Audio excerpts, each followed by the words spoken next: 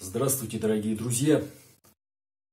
А, сегодня в этом видео хочу поделиться с вами своим рецептом приготовления домашнего хлеба а, в хлебопечке.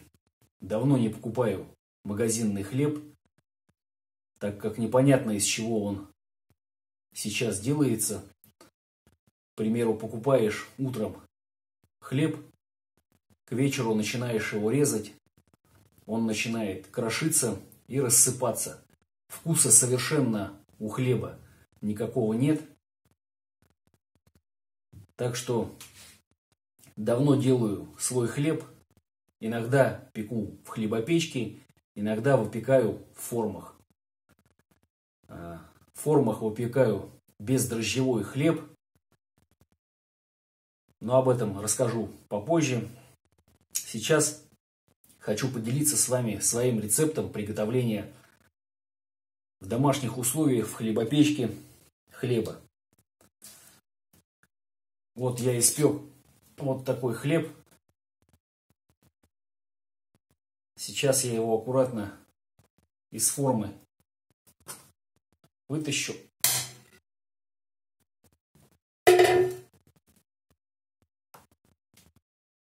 Ну вот, такой вот хлеб получается в хлебопечке у меня. Вес 900 грамм этой буханочки. Единственный минус такого хлеба, то что в хлебопечке невозможно сделать э, румяную корочку.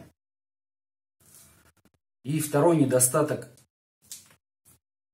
э, в хлебопечке э, внизу находится мешалка которое замешивает тесто. После того, как тесто э, промешалось, и хлебопечка начинает выпекать хлеб, вот эта мешалка, видно отверстие, остается э, внутри вот этой буханки. Вот, чтобы ее вытащить, приходится разрушать буханку. А, вот она. Это мешалка. Ну а так хлеб получается вкусный, с магазинным.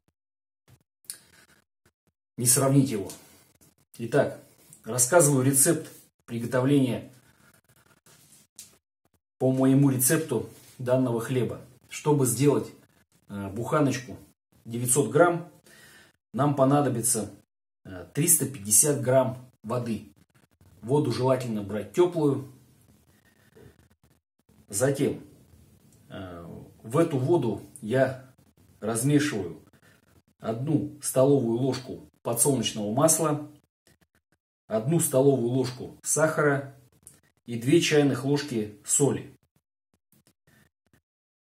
Э, муку я беру двух сортов ржаную, ржаную я беру 400 грамм ржаной муки и 200 грамм э, пшеничной муки. Получается 600 грамм муки. Если брать э, одну пшеничную муку, хлеб получается не такой вкусный.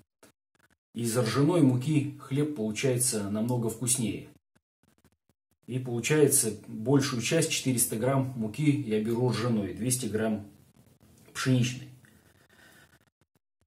Ну и в хлебопечке я использую обыкновенные сухие дрожжи, а, беру их 2 чайные ложки.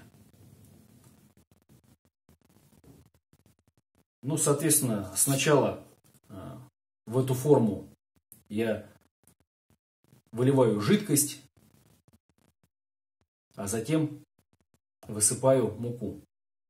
Все это перемешивается вот этой мешалкой. И печется такой хлеб э, два с половиной часа. Очень быстро и очень вкусно. Сейчас я разрежу, покажу, какой он получается в разрезе. Ну вот смотрите, вот такой вот плотный, очень вкусный, ароматный хлеб. Когда хлеб печется в доме, очень приятно пахнет хлебопекарными изделиями. Вот такой рецепт э, приготовления домашнего хлеба в хлебопечке. Пеките, друзья, домашний хлеб дома, не покупайте эту гадость, которая продается сейчас в магазинах. Или можно покупать э, хлеб, сейчас много открылось частных хлебопекарен, одновременно хлебопекарня и магазин. Хлеб намного, конечно, дороже стоит в таких хлебопекарнях, но намного вкуснее и полезнее того хлеба, который продается сейчас в магазинах. Что вам хотелось сказать, друзья? Следите за своим здоровьем, не покупайте, не ешьте непонятно из чего сделанные продукты. Всем вам здоровья, друзья. Всем пока.